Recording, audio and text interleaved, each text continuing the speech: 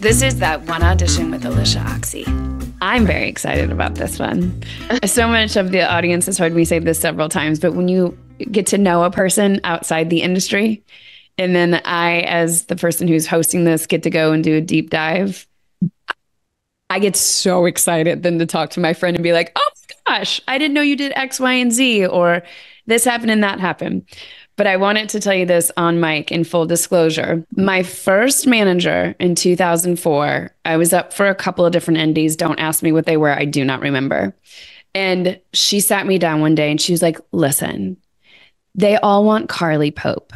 so if you could be like, go watch her stuff. And if you could just try to be more like that, but you were you were like the it girl of all indies of all everything in early 2000s and i will never forget that conversation where she was like just they all want carly pope it was like this like praying thing if you could go be more like that and i was like sure but isn't that not yeah. Okay. Let me go do some research. I'll be right back on my Carly Pope in person. Oh my God. That is such an insane concept. And and also where are these people now? Can we find them? And can we ask them if they're sick? We knock on their door and see right. if they're It's just so funny to hear something like that. First of all, first of all, thank you for having me on your show. You are such you are such a delight and what you do for people in this industry at so many various levels of their career I mean, truly, at the, from entry level to 1%, you've got people covered.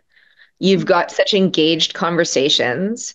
You have so many insights, and you're so quick with your curiosity. And it's just it's really a it's really really a gift that you're giving to us. And i just i really appreciate listening to your show but i also appreciate that you had any interest in bringing me on it. So thank you. Oh my gosh. Thank you. But also must be like carly pope. Well I mean, don't. All I I'm going to emulate this. don't, don't you dare do what I do because you'll find yourself in various places you don't care to be. But that's it's just like that is that is such. It, it truly is such a bananas anecdote to me because the way I was feeling in 2004 is not at all was not at all top of my game you know not at all like the person that that people wanted in the indies not at all the person that had a plethora of opportunity or work to you know there were in in 2004 i was i had moved back to canada mm-hmm. i had dropped my agency which was william morris down here in america i had actually in 2004 2004 might have been it was either 2004 or 2005 that I ended up getting a manager down here again.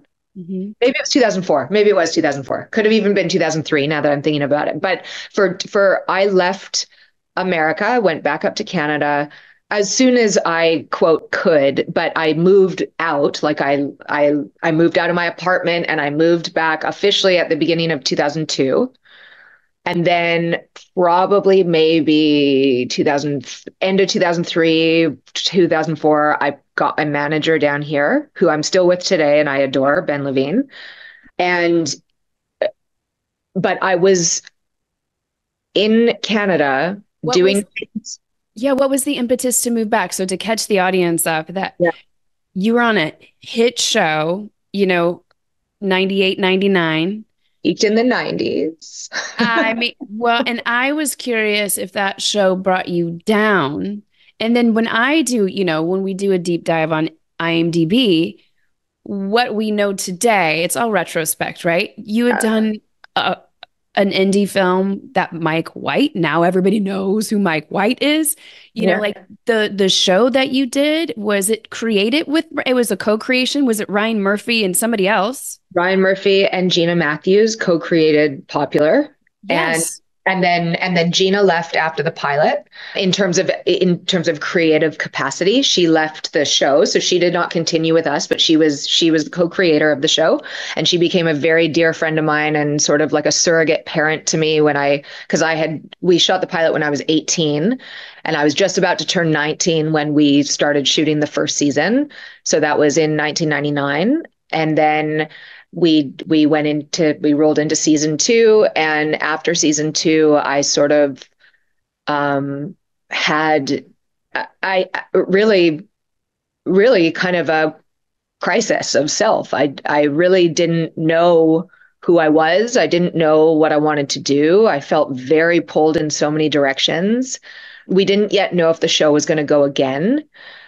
But I, I, I mean, truly, it was probably like, okay, cut. That's a wrap on season two, and I was already like wheels up in an airplane up to Vancouver. Wow. And it, I mean, I was like desperate to get home, and really, I think what that was was for me I, I was i was desperate to figure out the experience that i had just had two years of which was by all intents and purposes anyone's dream gig That's what I was going to say. Yeah. anyone's dream gig and for me it was my dream gig when i was working when i was doing the work i was so happy and everything else that came with the work being on the wb which was a very time.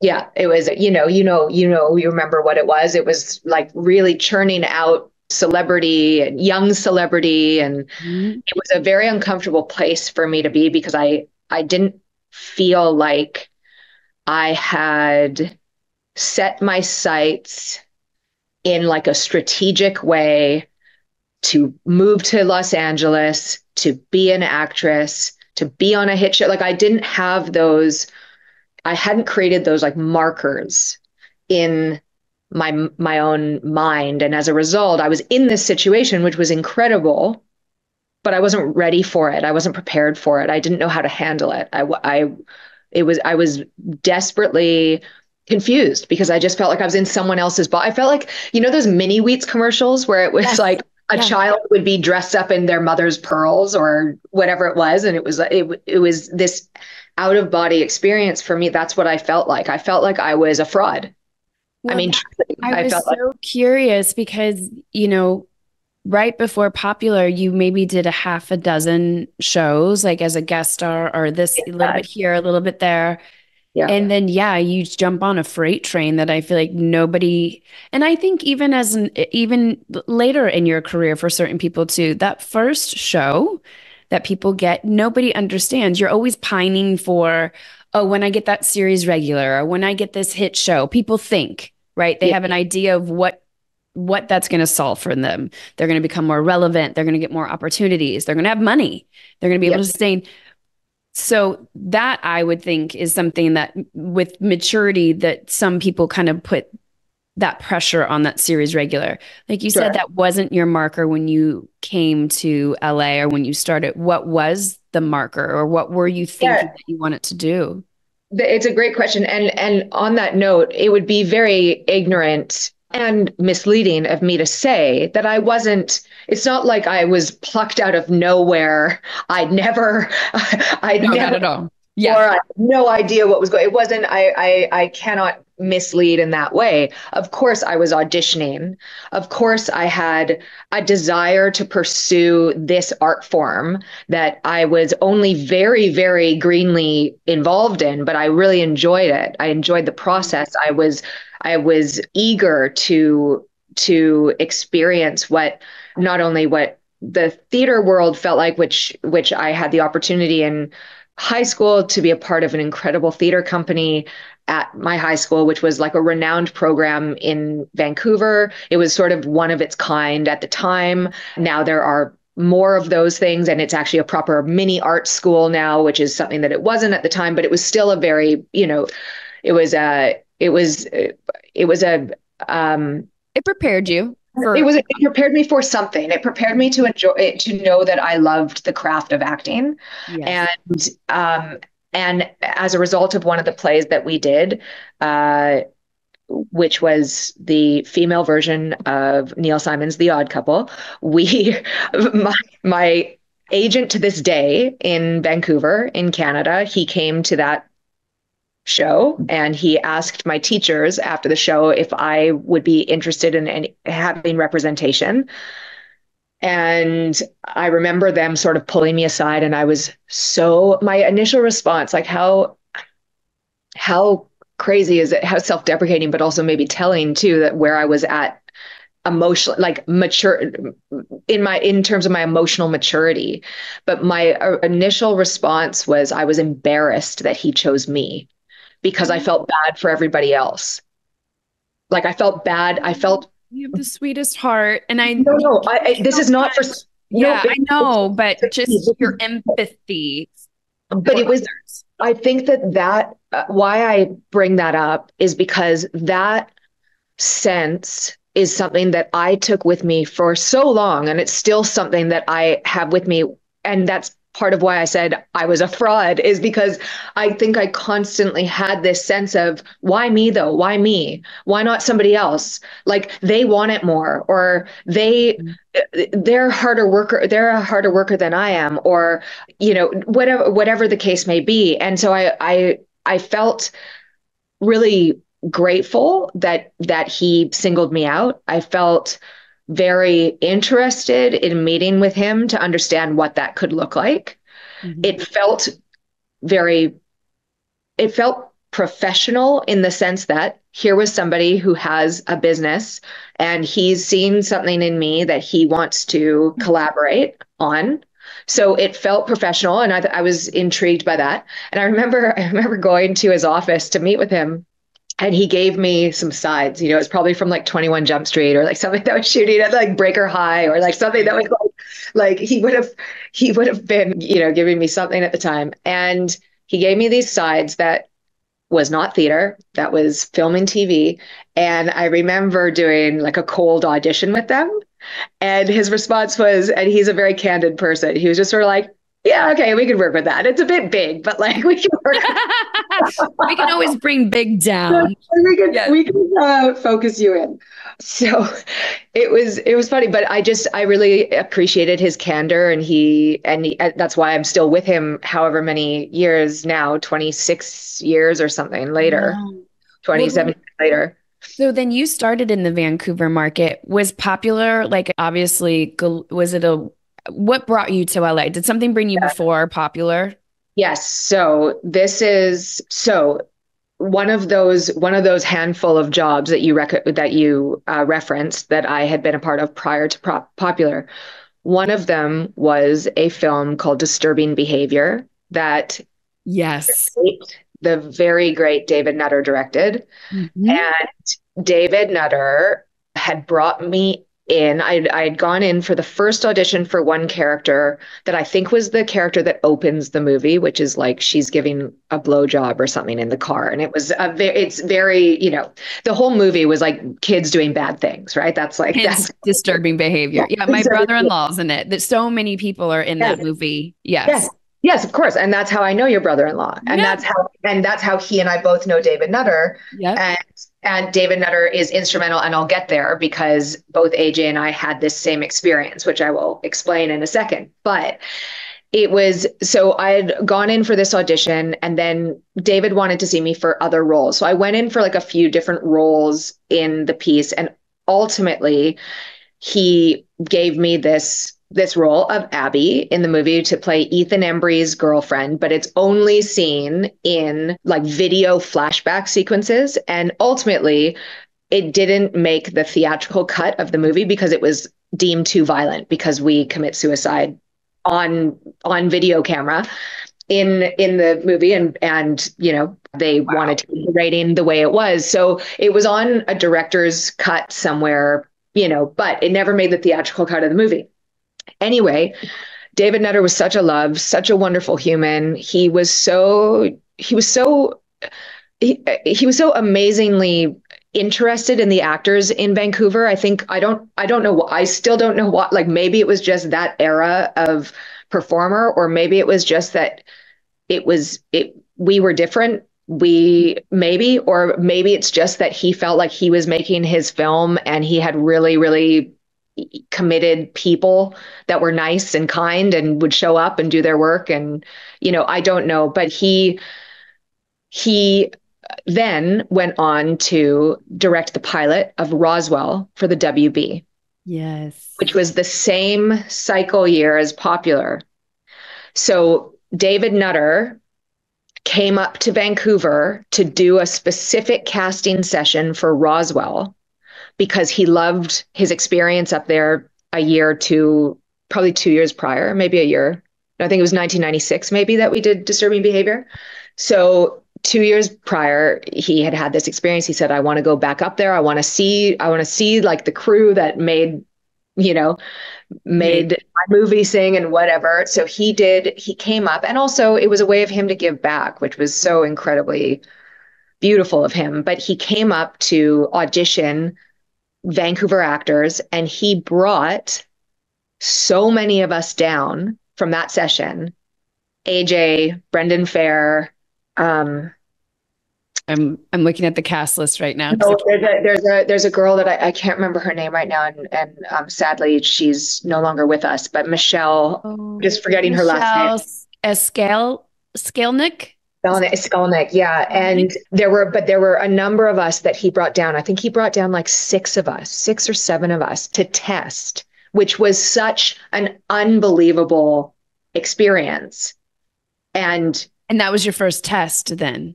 It was my first test. It was my first trip to LA without my family when we were, you know, coming through to go to Disneyland or going to Palm Springs as a child. Like it was my first time, you know, coming down and he he brought us all down and we here we are like little canadian camp that was staying down the street of fox in these hotels to test. And it was such a wild experience. I remember we all went to Jamba Juice one day because like that was the, you know now it's like so funny. this go. is also testing. I mean, testing nowadays it's like on a tape. Maybe yeah. it's a Zoom. Maybe you're lucky you go into that pressure situation. But testing back then, you had to do studio network. It's suits in the room. You're signing your contracts. You're, you're signing, yeah, your seven numbers years. that yeah. you're going to see before.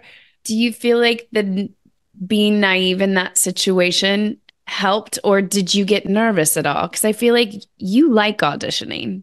Yeah well no i don't. I don't. I i am a i'm a miserable auditioner. I'm a horrible auditioner. Horrible. Like i don't know why i'm whispering as if like someone's gonna yeah. like no, don't tell anybody yeah, but the whole world knows yeah, we're, we're, on a podcast. You've got great circulation. I don't know why I'm whispering, but anyway, it's no, no. Auditioning is not a comfortable place for me, and it's bizarre. It's it's bizarre because that that one that one felt safe because they were like my friends from Vancouver. Like we were all coming down together. We we were all in this together. We were all fish out of water. It felt very safe and comfortable. And then just to really quickly like wrap up how how it got from A to B was I I passed through from studio to network and then network said no, but they kept me in. So then I went to the next round and had to do it all over again. So this was like another time. I flew down again another time for Roswell. First for Roswell, they said no to you at network, but then they thought about you again a couple weeks later. They're like, "Hold on, we're just going to wait a second and see." I, I, I, don't know how this. I still feel like it was probably David Nutter that was like, "I want." I don't know. I don't because it doesn't make any sense logically. Knowing how the business works now, it doesn't make any sense. I'm pretty sure it was three rounds of that. Wow no three times over. And then finally it was like guys like uh, obviously we just like this is not working. Like let's move it's got to move we've got to move on. Like everyone has to move on. Every single person has to move on. Allison jones has to stop bringing me and like the whole thing just m- make it stop. So the, it was so bizarre. And then i remember i was in my first year of university at the time up in vancouver. And you know, I was I was not exactly sure what I wanted to be doing. I thought it would be something in like the you know something in like the social sciences or counseling psychology somewhere in that realm was where i was going to land. But i was just sort of toying around with classes and i was really enjoying being at school. I really wanted to be at school. And then this audition came up for popular and I remember reading the script and going, this is unique. This is like different. This is like, there's a voice here for sure. But I was asked to audition for the role of Brooke, which is the popular girl. And oh, interesting to see the show that way. Like you and Leslie switching. Okay. Okay. so they had asked me to audition for popular and i kind of went like i don't and again it's this confidence thing right the thing that like i will work on my entire life is my sense of self-confidence but i just didn't i was like i just didn't buy myself for the role but i i went with the opportunity that was in front of me which was auditioning for that character and then out of nowhere. I th- I feel like it wasn't a quick thing. I feel like it was like a couple weeks later. And we know how pilots used to work, where it was all very fast. Everything happened pretty quickly. So when I didn't hear, I just thought, never mind. I'm going to go back to my like psychology 101 class and my theater history class and my, you know, yep my English class and I'm going to enjoy the hell out of what I'm doing. And oh, I had this little part in a tiny TV movie that I was working on at the time too. So I was like, okay, this is good. This is good. I got my life up here. Everything's cool. Got the call that they wanted me to come down and test for popular. And I was sort of like, oh, but I've got, you know, I've got work on our guys and I've got my I've got university to go to. Like, mm-hmm. I don't know. That's kind of like inconvenient. Like, it's kind of like not great timing. And it's not, you know, and they're like, well, you have to go. So I I went to the audition. Jennifer Craig, who is currently still my agent at Gersh, but she was at the time at William Morris, mm-hmm. asked Tymon Stewart, who is my agent in Canada, if she could pick me up from the airport because she had contacted casting directors during pilot season and said, "Who, who, who do I need to know about? Who do I need to know about?" And Allison Jones said, "You should know about Carly Pope." Allison Jones was casting Roswell. So Jennifer Craig had said, "Can I pick her up from the airport?" And I thought that was really strange. Also, really incredible. Yeah. Yeah. Also, really unusual Mm-hmm. Like They're like not- un- unusual on all sides, but I thought it was so. I just immediately fell in love with her as a person because I just thought she. It was. It was. It was kind-hearted, but it was also very business forward and savvy, and I just really appreciated who she was and who she proved to be. Anyway, she picked me up she took me to the audition. We had a little chat. I didn't think, I just was kind of like, oh, what a nice thing. She's doing me a favor kind of thing at the right. time. You know? and I went to the audition testing for the role of Brooke against Leslie Bibb. You were against Leslie. That's what yeah, it was two of us, 2 mm-hmm. of us for the role of, of Brooke. And you know again the way that that these tests work you do studio and then you like march over to network and sometimes they're the same day and sometimes they're not in this case, I believe that they were, but I don't know if I have that memory correct in my brain, but I think they might have been the same day. And I went in and they they just were going that you know they were waiting a long time like after I went in they were waiting a long time. And I was like I've got to get back on set. Like I've got to get on my flight because we've got a night shoot tonight and I've got to get back there. And and they came out and they said Carly can you come here for a second? And I think it was Ryan and Gina. I think the two of them came out of the room and they said, Would you ever consider reading for the role of Sam? But we're going to give you the material and you can take as much time as you want and you can you know you can come back later in a couple of hours like we've got other people and they were like take as much time as you want and i sort of like look and obviously I, I was familiar with who the character was but of course i was not reading the script as yeah. that character ever so it was but I was familiar enough that I just I looked at the material and I just said, look, I I don't have time to like Yes. So give me a second and then let's just do it. And so they, you know, they gave me a second. I took off my shoes.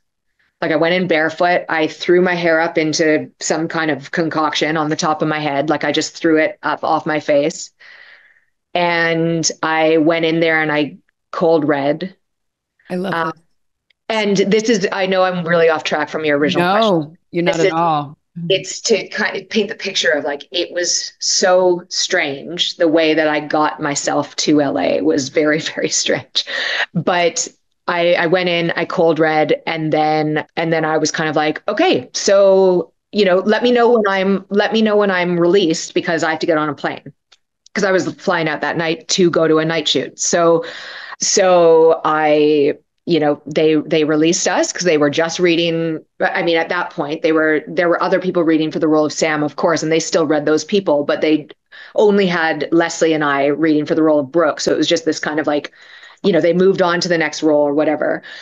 I left, went to the airport, got on the plane, and I think by the time I got off the plane, they had said, "We want to offer you the role of Sam."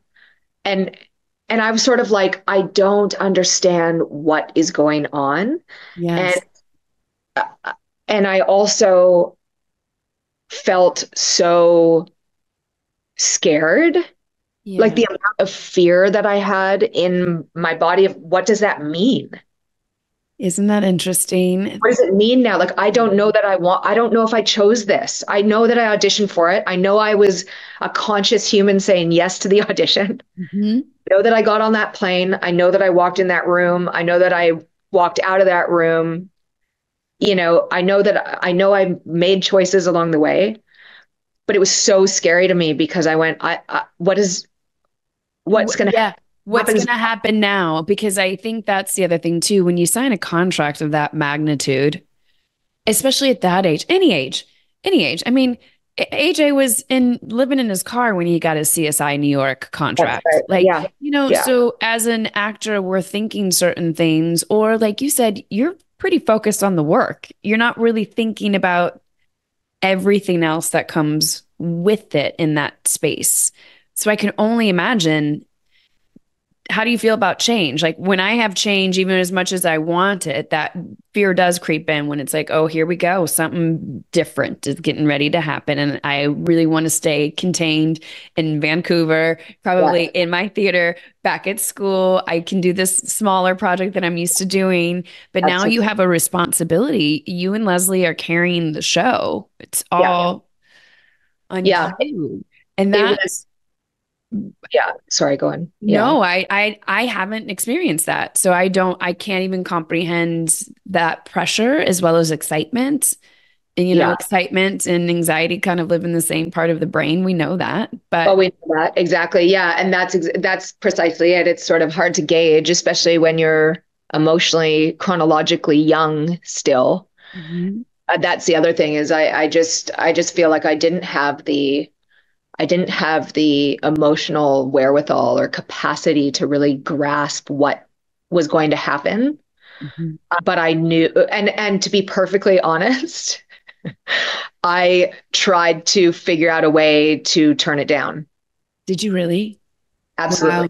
Because I thought, wait a second, wait a second. They but they wanted me for Brooke, so surely this is my out. If they now are asking me to play Sam, that's our out. Like let's just walk away. And I had very many people have conversations with me, as they should have, and I'm so glad they did Yeah. because uh, the, I needed the pep talk. I needed also to be scared straight again, you know, to sort Yeah. of go through that and go, no, no, no, no, no. You're going to do this, and we'll figure out how to help you along the way, and we will, you know, devise the plans that will keep you feeling like you're in control. But it all happened. It it all happened very, very quickly. So that was probably like that test was either in like I feel like it was maybe late January of of 1990 98, 99? no 99 it would have been 99 so January 99 we shot the pilot in February 99 and then we found out in May that we got picked up and we were shooting the series by July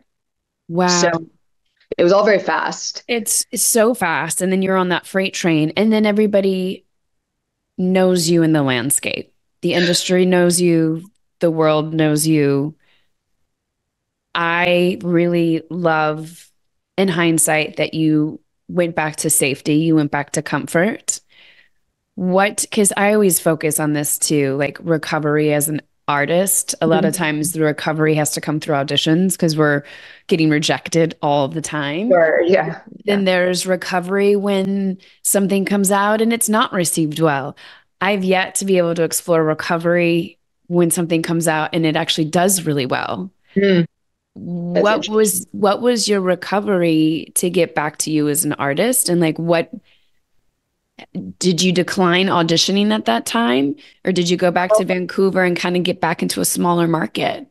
So I think, uh, yeah, I did. That's exactly. You're right on the nose with that. But but basically, I felt like the entire time we were shooting Popular was for me a, a process of me hiding and hiding and hiding and hiding and hiding because I was scared. I was really really scared and really uncomfortable. And i had i had an incredible ally in leslie bibb who was who who was not only more experienced but she also had more she, she had more professional acumen and strategy. So she understood the business better and she was able to sort of guide me. And it didn't and that didn't happen right away. She and i sort of like really fell into step with one another. I would say we were forced into step with one another but we we really genuinely fell into step with one another. Toward the end of the first season was when we kind of were like oh you're my you're my sis. Like this is it. Yeah. this is it. And and we you know we very much appreciated and respected one another's craft and space and process and all the rest and we all have different processes and it was but it was truly like we fell into this kind of just strong bond. It was a strong bond that allowed me to feel safer when we were doing all the stuff outside of the walls of the studio. that that allowed yeah mm. all the press and all that stuff that allowed me to sort of get through that side of it. But to get back to the point was I felt like I was just in this constant state of hiding from the industry. So for instance, with Orange County, the movie that yeah. you referenced earlier with Orange County. Read the script, loved the script. They wanted me to read for Schuyler Fisk's role, mm-hmm. and which was the lead girl role. Lead, and I went, well, what about the Tanya role, mm. which is in two scenes of the film? Like, you know, I was curious about that. Yeah, you're answering all my questions that were in my head last night when I was doing this research. I was like, that's so interesting that after the hit show. But that's it was because I was hiding from everything. The you know William Morris would send me these these like uh, blockbuster or bound to be blockbuster movies. And I would go, yeah, but what's happening in the indie world that's like probably never going to be seen, but might have a festival run and that could be cool, but also maybe it'll just never be seen. Like that was my mentality. And what this led me to understand is I was I was I had a major anxiety disorder and a lot of depression that I wasn't understanding and I wasn't dealing with and I wasn't coping with because I didn't have the wherewithal, I didn't have the I didn't have the strength, I didn't have the insight, I didn't have the guidance until I was able to kind of set that for myself. Ooh, I'm so glad you're talking about this because I feel like this career path lends itself to so many people having a nervous system that is it, it, it is highly affected. How can it not be? How can it not be? Well, and the thing is, is uh, truly, how could it not be at any age and phase at it? Yeah. Because there's a lot of, as you say, there's a lot of rejection. There's a lot of having to process that. Like, how does that feel? And how do I get back on the horse after that? And where do I go from here? And how do I keep moving forward? And do am I, do I even have a do I even have an alley to move forward in anymore? Like what what is the yes. what's the landscape? So there, there's a lot of stuff to process, but I think especially at that age, I think I just, you know, I came from, and I want to choose my words carefully here, but I, I come from a very, very intertwined family. Yeah. I love my family very much, but we're very intertwined. So leaving them was a was a big wound for me. That was a big wound, and they were very worried also because I was so young. So it created some elements of, you know, stress. Yeah, stress. Absolutely. Yeah and that and and you know not to get too into like middle child syndrome but i also felt a lot of my life was like making sure that everybody else was okay. So mm-hmm. i had this responsibility to want to make sure everyone at home was okay but then i had this massive responsibility that i was carrying a show all of a sudden at 18 19 and that and i didn't know how to negotiate those two things and i didn't have the tools because i hadn't created a toolkit yet and I didn't have the ability to understand how to manage all of that. And what it ended up doing was was creating the sense or need to shut down and disassociate. And disassociate. I'm, I'm so glad you're talking about this because people write in about this a whole hell of a lot where I'm so anxious at auditions that I like I can't do X, Y, and Z. I'm I'm I have a lot of anxiety. I've been away from the industry for 15 years and I want to come back and nobody cares. I think if our instrument's not quote unquote whole or sane or our thermostat's not neutralized, yeah. how can we show up and do our best work? The audition process is not even set up for us to do great work. The actual system of the industry is not set up to care about the actors, the humans. We end yeah. up becoming this advertisement. And then everybody thinks that it's that we're supported in those ways. And if you don't have the tools many people that i feel like you i end up talking to that have gotten that big win in the beginning at a younger age or land themselves on a show and have the responsibility. You don't know what to do with it the first time around. Yeah. Yeah and that was the thing is you know you, you don't know what to do. I i was trying to do my best with it but really at the end of the day when season two was finished we didn't know if it was coming back for season three yet. We'd done 43 episodes of the show. Wow. um, you know we i would i scooted right back up to canada and i think within that same week i booked a trip to to well my plan was to go to england first then to go to Thailand, then to go to Malaysia, then to go back to Europe and do like some Europe, and then come home and see w- what was what. But I just needed to go away. Mm-hmm. I wanted to, and really what it was, and this is after lots of you know decoding and lots of lots of un, unraveling i understood that i was i was truly just just trying to disappear because i was so I, I felt so much pressure and I felt like I was disappointing everyone, you know, by not being able to.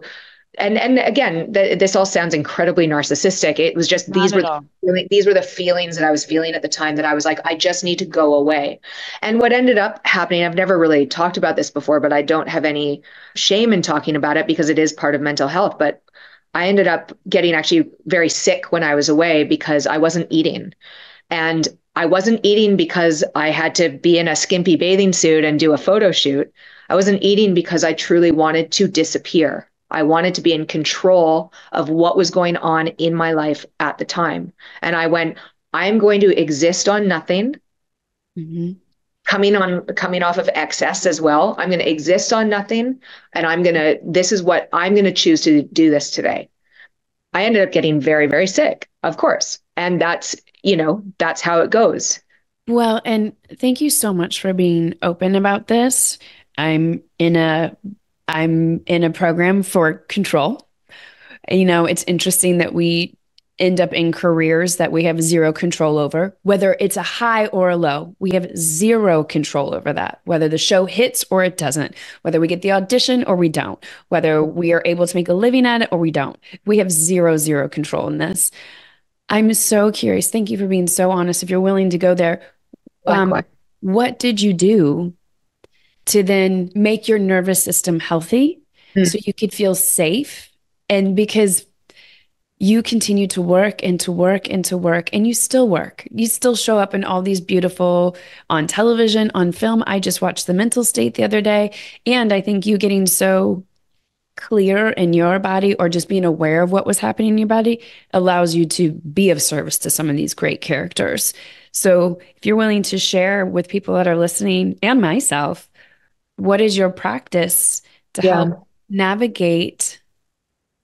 I mean, I think that going back to I think that I think that I I feel like I've always been a relatively extra uh, well i would say i re i recharge as an introvert like i recharge by myself. That's that's true to this day but i feel like i never had fear of being extroverted mm-hmm. growing up and in my youth. I i developed that fear when all eyes were on me and then i went oh no no no no too much too much too much. So for me i feel like a lot of it is is a process of it had to start with I I I'm a big big believer in therapy. I everybody has their own methods and means and ways. For me, I felt like you know talk therapy, cognitive behavioral therapy was a very important piece of the puzzle for me because there was a lot that I could not work out by myself and I tend to overanalyze and but why and why and why you know and and that can you can drive yourself crazy if you if you are not if you're going over the same things again and again and again and not having these other little nuggets that can come from having a referee or someone who's just has a bird's eye view. And so i felt like putting myself in therapy which i did when i was 2 i think. Mm-hmm. i think i was 22 I saw someone for a couple years in Vancouver who helped me on so many levels and it wasn't specific. We weren't we weren't trying to we weren't trying to understand my feelings about popular. We weren't trying to understand like it wasn't it was just in general what is going on that is creating this anxiety mm-hmm. and what is going on that is creating these feelings of doubt and where's where does it come from and everything else. That opened my eyes to a lot of stuff. It also helped me understand that like the relationship i was in was incredibly toxic and it you know it helped me to it helped me to figure out that my reactions and my behaviors were sort of were interlinked with what was going on internally. So that was the first foray into learning how to treat myself with kindness yeah. and learning how to treat myself with respect. And then, you know, those are lessons I've had to keep learning as well 20 years later. and great it, tools that you're still yeah. using too every day.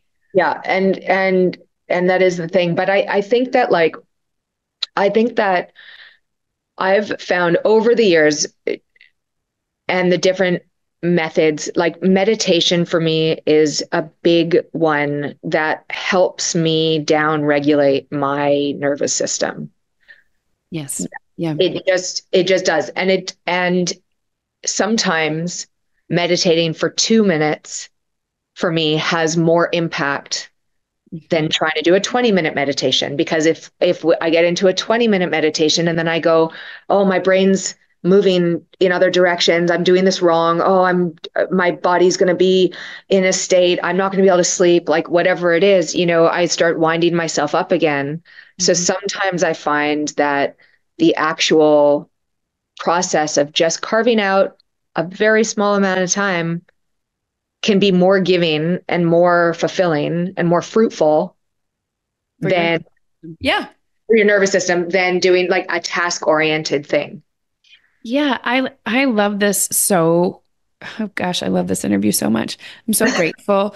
I'm really curious if you then at this point because you're helping yourself and you're gaining the tools, do you stay in this beautiful this is a great strategy. This is a great strategy where William Morris is sending you opportunities and you're like, "Great. Yeah, no, I'll take this character." Uh, no, I'll take this character because your resume kind of builds itself in that way. And are you at this point, because of popular, able to avoid the audition process because it is so anxiety ridden? So I kind of two questions right there. Like, I mean, I definitely feel like, I definitely feel like uh, maybe in the past there were more offers coming in, but that didn't that didn't usurp the necessity of having to audition. I still had to audition. So I feel like auditioning has always been part of it.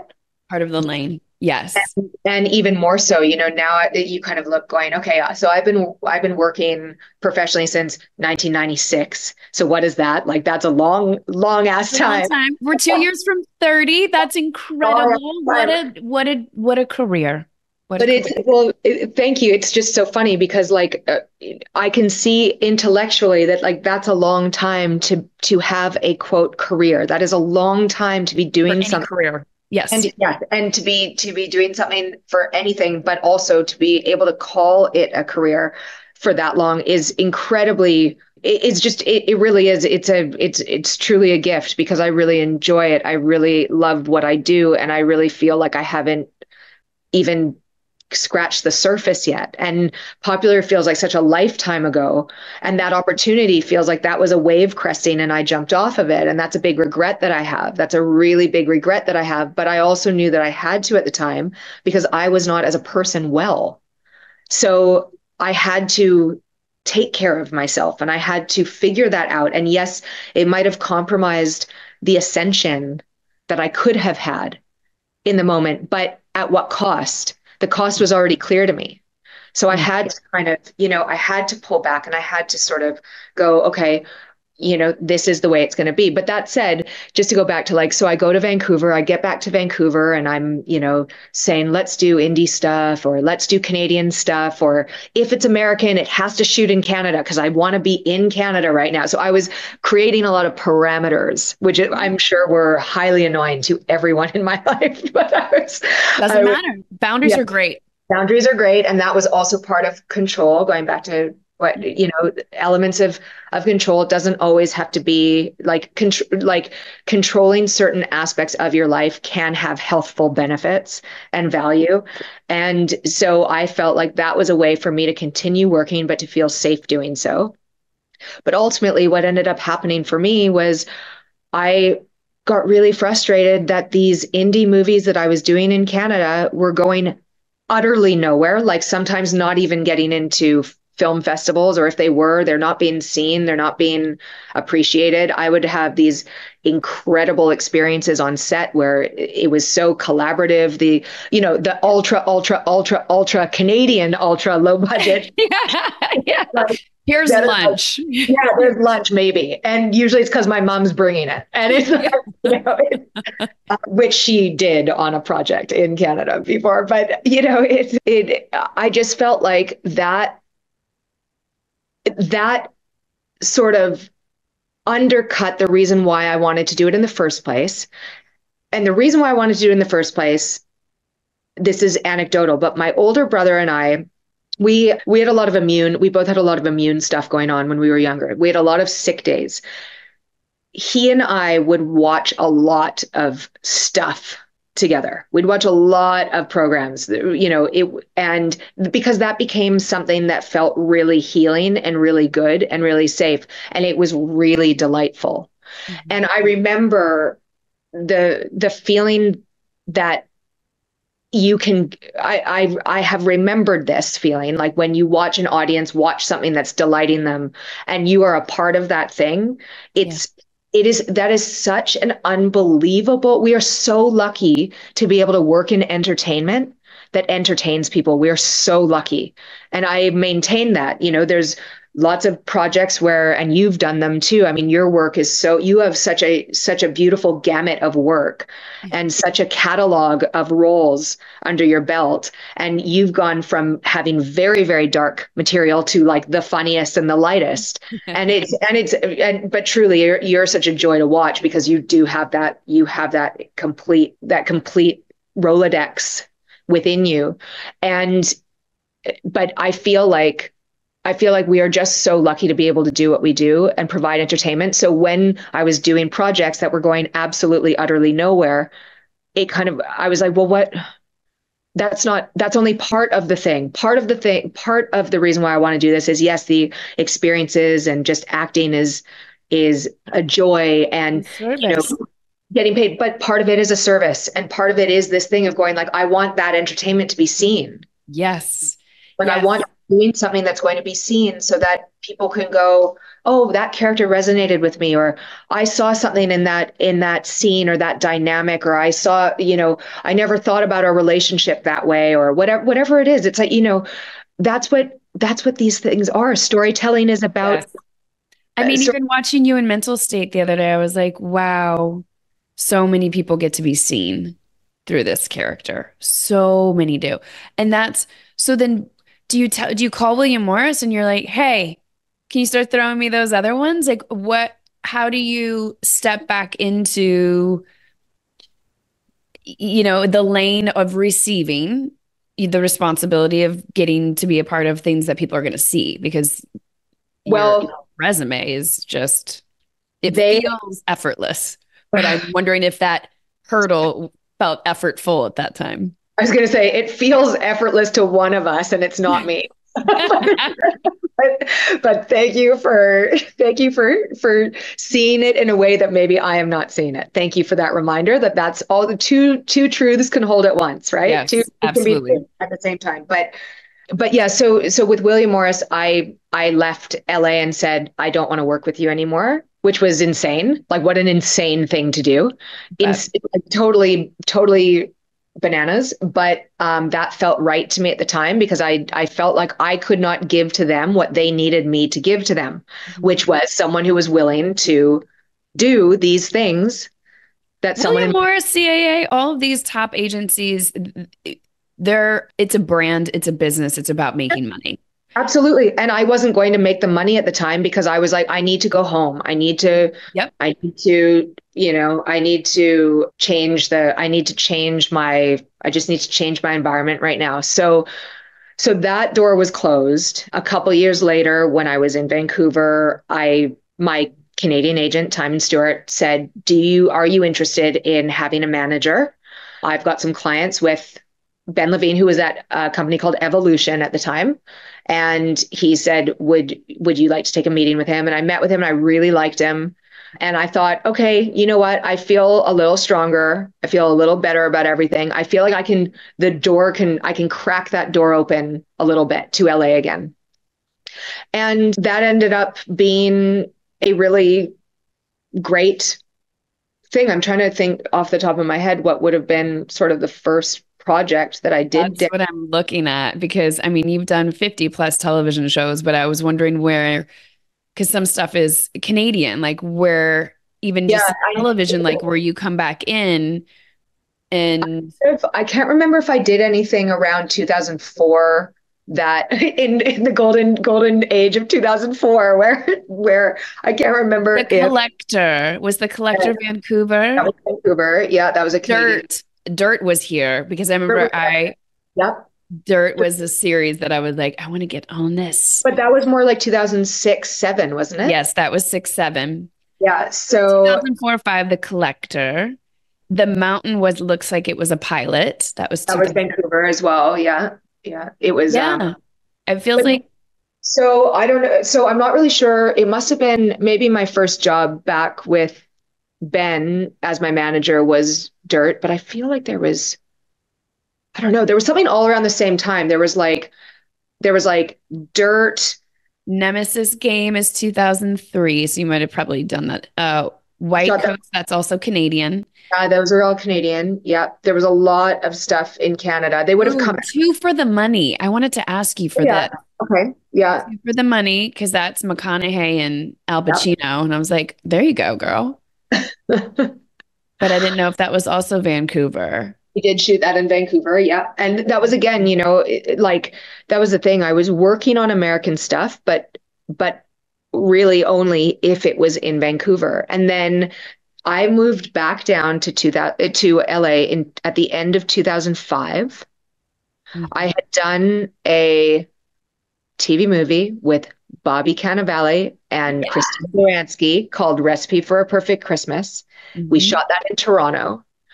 I was getting out of the toxic relationship that I referenced earlier. Yep. And my friend was also getting out of a relationship and she was American and she lived in Vancouver, but she said, I'm thinking I want to move to LA. And because I needed an escape plan myself, I said to her, Why don't I go with you? And I'll introduce you to some people that I still know there. I will help you, you know, get on your feet, but I'll just, I'll go with you. So that was like toward, that was like September 2005. And we ended up coming back to LA. We, we lived in, what was it called? The Oakwood? Oaks. The, the Oaks. Oakwood. Oakwood. Yep. Yeah. So we lived there for like a week. We went to Vegas for a week. We we st- couch we like couch hopped at people's places and then we found a, a one bedroom apartment in los feliz that we dubbed the dollhouse because it was a tiny little space that she and i lived in together for four four years.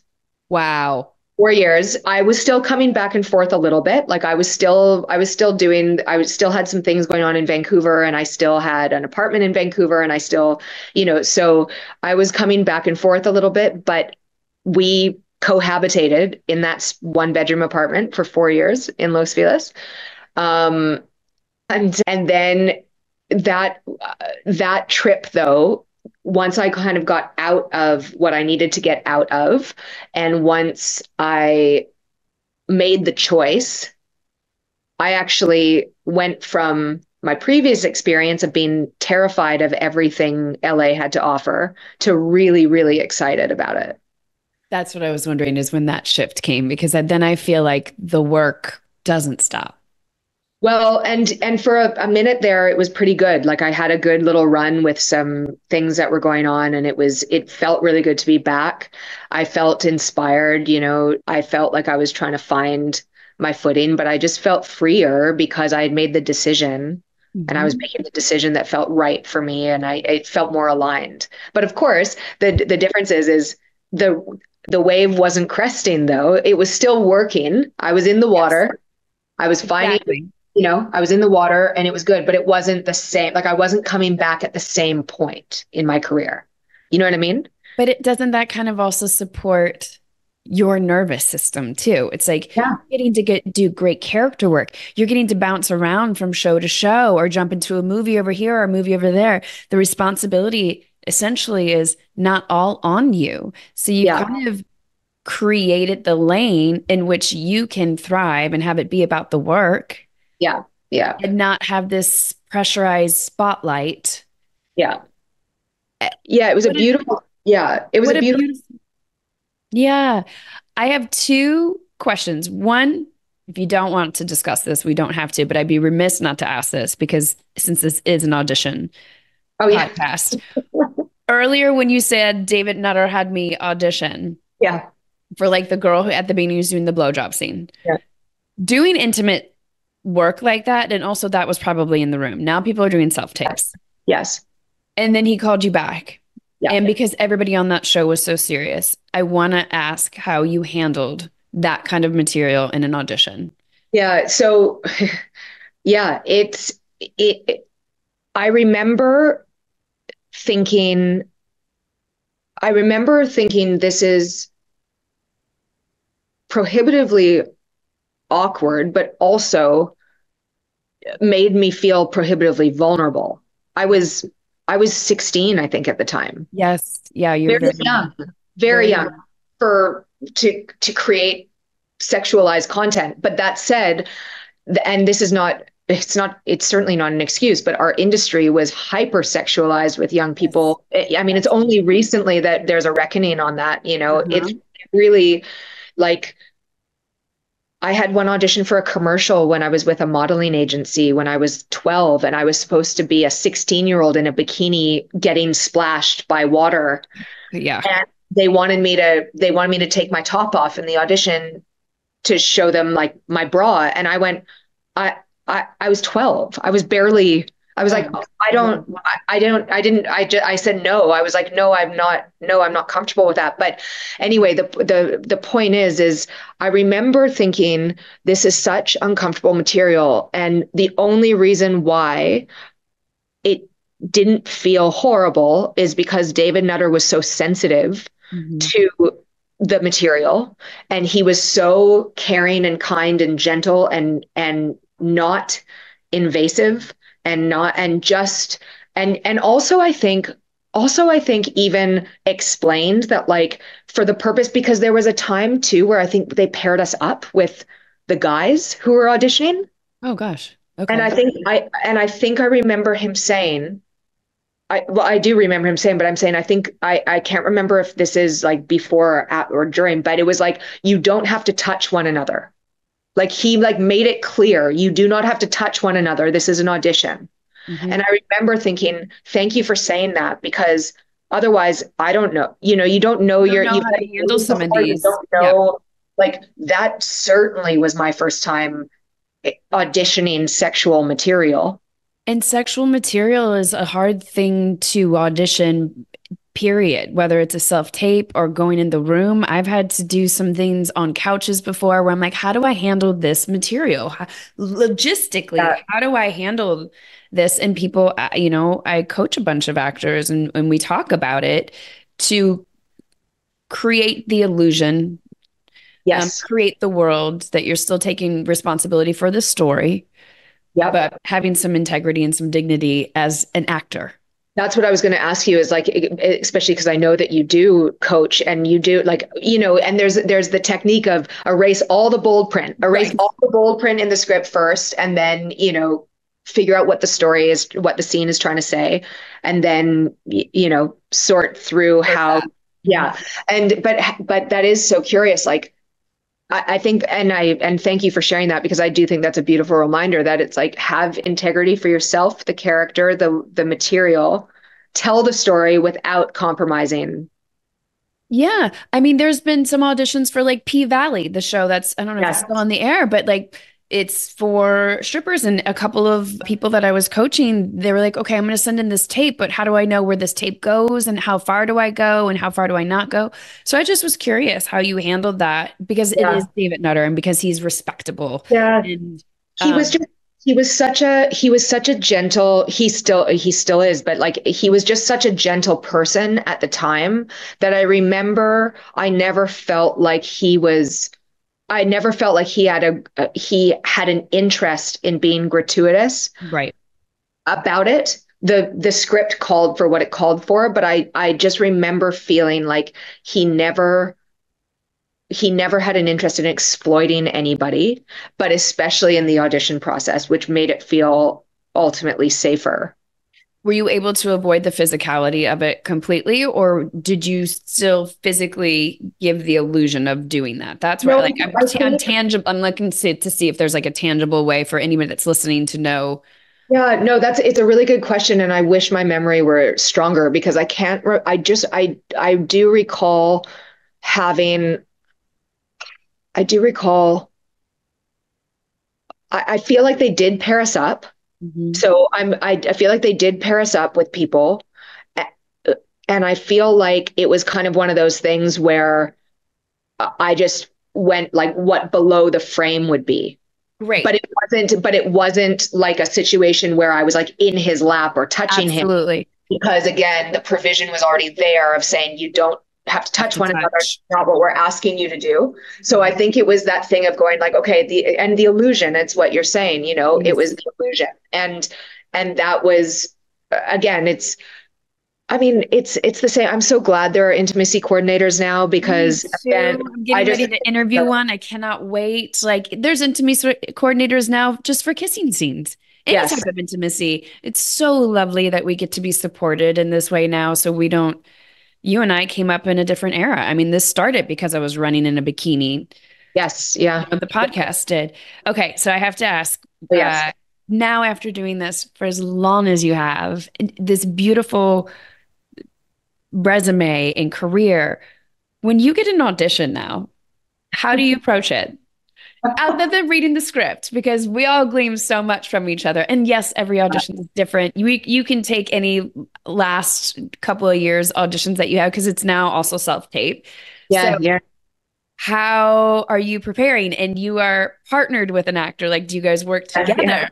because yeah well, yes, we do work together. In fact, we even work together. Like if we're not physically in the same space, we often will Zoom with one another for our auditions, like or not Zoom, FaceTime. Like yeah. he'll, you know, and and Dave is he's such a he's such a, a a wonderful actor, but also he's got such an eye for story. He is truly like a script doctor when it comes to breaking down intention and scene. He's really good with story. He always has been, and it's it's an it's a miraculous quality that he can read something, he can half read something and understand what it is and be able to break it down, which is an incredibly like incredibly advantageous characteristic, but also as his wife. Like I feel really grateful yes. for that because I'm like, oh my God, could you help me with this? But so so I would say something that I've more recently gotten back into, which is again I, I always try to analyze text and break down text and have my own little process with it. But I'm trying to sort of, I've got sort of like I've got sort of like the three main things that I do in analyzing text that have come back and I feel like they really work because it helps to personalize the material. And those three main things are mark marking beats mm-hmm. like marking beats where the intention changes between one sentence to the other. Yep.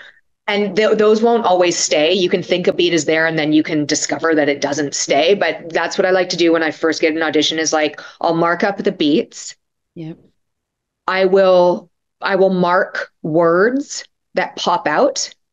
Like operative words. Yeah operative words. Yeah i will mark those words and then i will define those words and the that one is the big one the, the defining of those words because what ends up happening is you you'll say like let's say i underlined let's say i underlined her or something in a scene and then i go to define what her means and her is a female person or a it, I'm that was a wrong word to choose. Person appearing female. Yeah.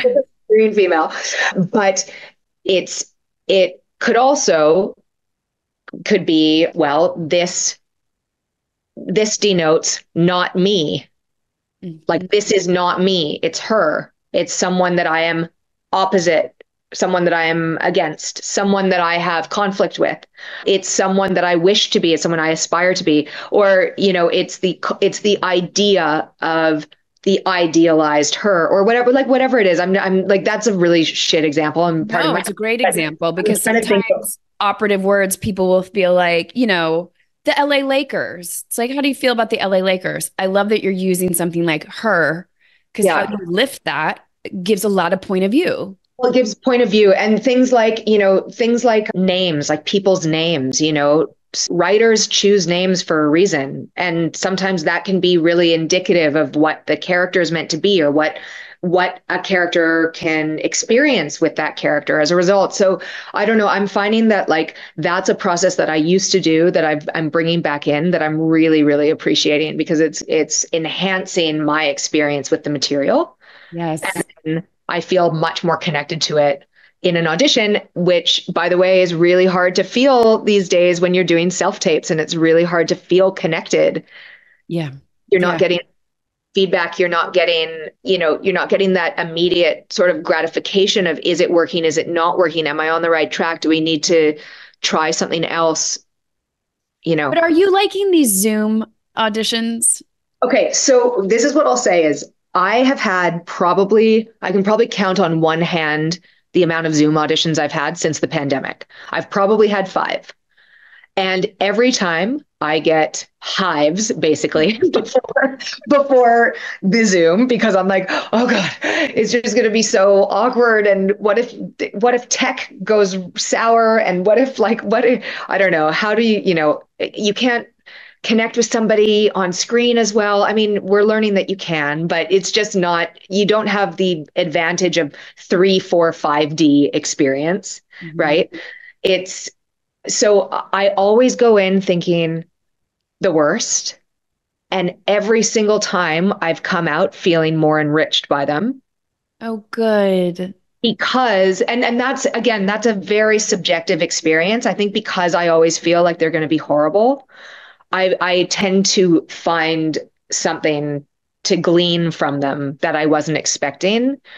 And I do think the point of connection is a nice thing to be reminded of.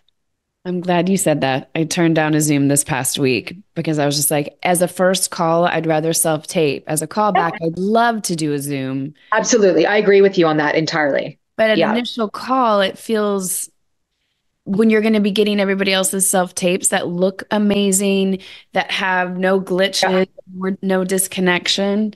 Um, but it was a point of discussion. And, you know, I also think Dave and I talk about this a lot too is for, I totally agree because first auditions, I think it's an opportunity for you to take it for a spin. Mm-hmm. So you get to amalgamate it, you get to experience it in your body, you get to like, you get to like settle in with the with the material and then if a callback happens, how wonderful. You yes. already have muscle memory and the nerves can be used for the adrenaline elsewhere that you need them to be. that's that that's that's my new argument moving forward with my team. But it was a discussion. I like I, was, that. I like that you stood up for yourself too, because it does make sense. Yeah, yeah. When it's material that I, if I don't have any questions, I think yes. I, I want to give my viewpoint on it. I could talk yeah. to you for hours. I really I want to say thank you so much because I even just heard you kind of repeat this kind of th- theme that's happened during this time is that what you are experiencing, us as the outside world, is experiencing something totally different from your instrument, from your craft, from your career. And to be able to do a deep dive into somebody's process experience and career and have you be as vulnerable as you were, it allows, I think, so many working actors or actors that are just starting to make what we do real and the opportunity to be in people's living rooms day in and day out does come with a certain sort of sense of responsibility. To be a lead on a show comes with a massive amounts of responsibility. So a lot of people, including myself, when I got here 20 years ago, I was like, I'm going to be a lead on the show tomorrow. I had no idea what that expect. And I still have not earned that privilege yet. But also now in in desiring that privilege, I understand the the responsibility that comes with it. And that is only gleamed from being able to talk to people. Like this is truly a mentorship podcast. That's how I look at it.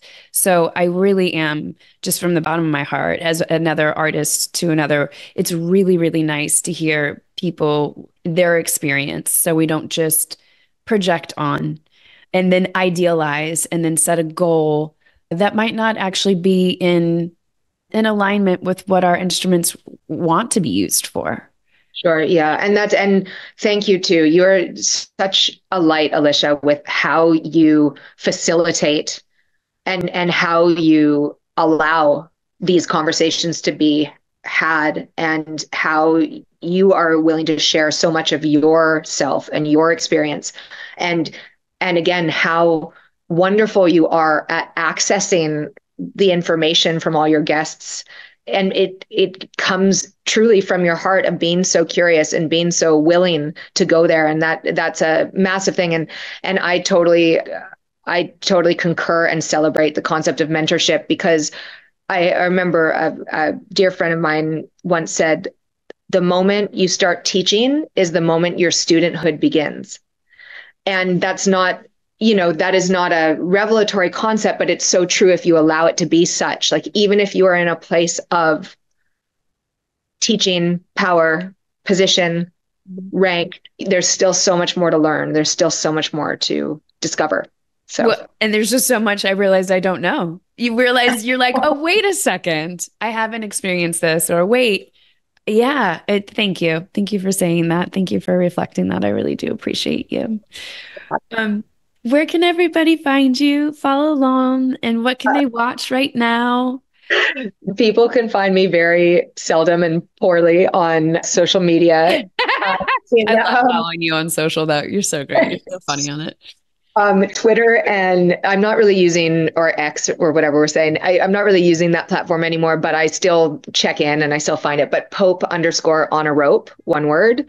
And then same with Instagram is also that handle. Those are kind of the two social media areas. Mental State is out. It's available to rent on, on all the platforms, Apple, Amazon. Yeah, I watched it. And, and then hopefully Pretty Little Liars season two comes out at some point soon. And there's a couple episodes in there. And that's about it. That's about it. That's all she wrote for now.